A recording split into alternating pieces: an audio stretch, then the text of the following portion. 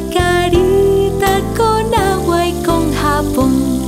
Pimpón siempre se peina con peines de marfil y aunque se hace